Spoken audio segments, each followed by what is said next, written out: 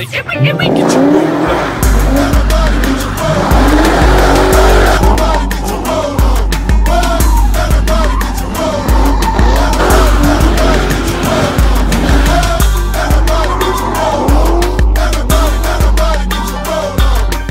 up, you guys? It's your boy Super Son, and I am back with another legendary video. What are we doing today? And on the Mustang, it's touching and sitting on the tire, so I marked it where I'm gonna hammer the fender up so this car is able to drive. So with that being said, I gotta jack this car up, take the wheels off. So with that being said, let's get started on star. This is where I'll be hitting it. I don't know if y'all can see that line but from right here all the way to right here, I'm going to hammer this up and fold it up because that's what's sitting on the tire. So let me do this and I'll pull you guys back out. All right, about five minutes have passed. And as you can see, I marked it right here. Can't see, oh, there you go.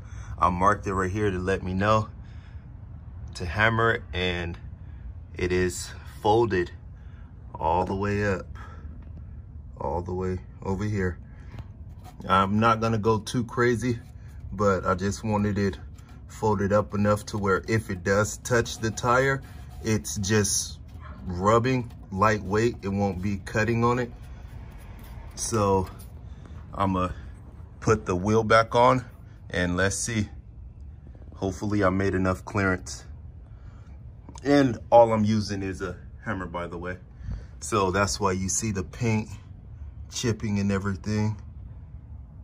I might give it a couple more whacks, but hey, so far so good. Alrighty, and I folded it up just enough. Y'all see the clearance now? And I even would, I even went a little past the lines just to make sure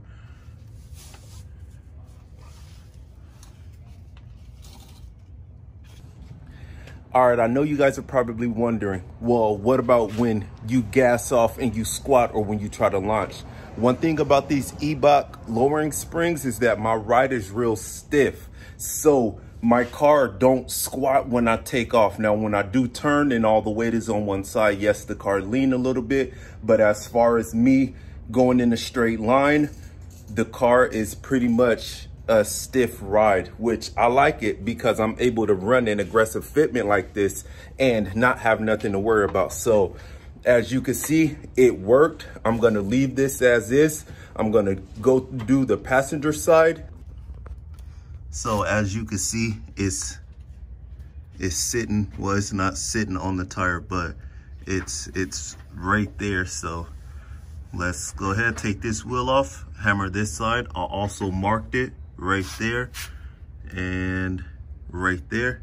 So see y'all in a little bit. All right, passenger side is done. Oh yeah, we mobile now, baby. We are mobile. So with that being said,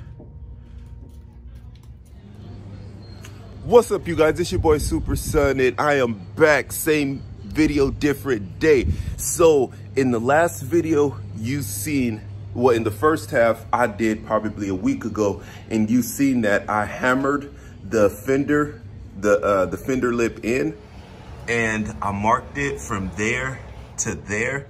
Well, as you can see a little bit past it, I was coming up in my driveway at an angle like I always do. And look, it's still pieces of tire because it just chewed my tire up. So now I gotta go and just uh, hammer the rest of it in, but that's not even the worst part. You wanna see the worst part? Bam, look, it took a chunk out of my tire all the way around, but it's all right.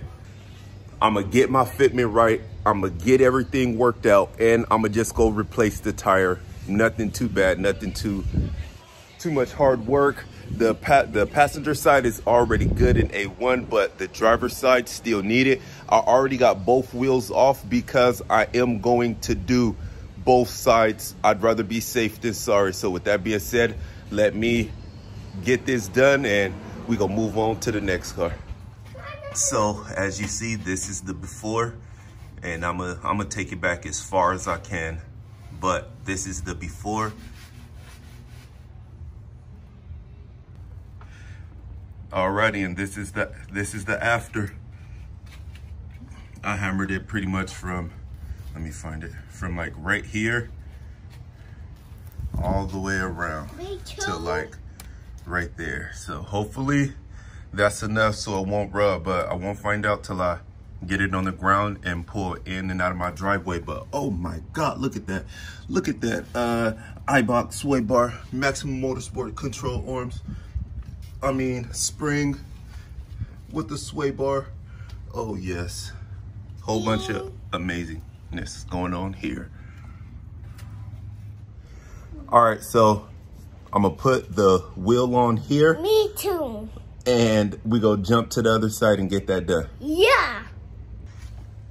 All right, so as you can see, the passenger side still looks the same from the previous video, but like, like I said, I stopped right here, so I'm gonna just hammer back as far as possible, both ways, and we'll go from there. But this is the before on the passenger side. So I don't have my tripod, so I'm propping you guys up on my wheel.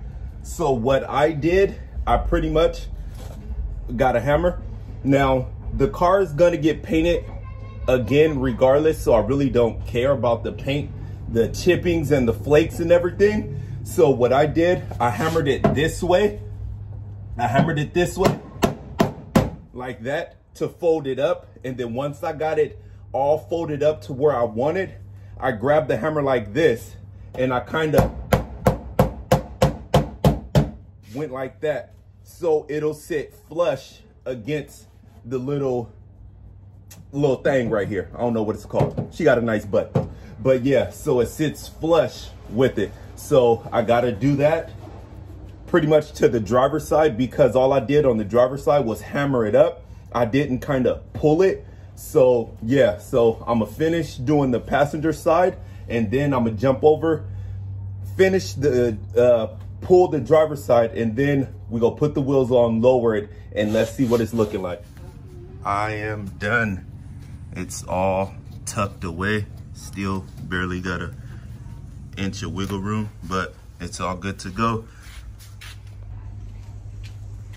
The worst that's gonna happen is that it's gonna rub, which I'm fine with rubbing. So that's no biggie. So, alrighty, I need to do some hammering on the Camaro and then I gotta swap cars. So this is the end of this video with Star. Thank you for liking. Thank you for watching. Most Make sure you hit that post notification bell so you get notified every time your boy posts a video. Thank you for taking time out of your day to watch me. I'm out. Peace.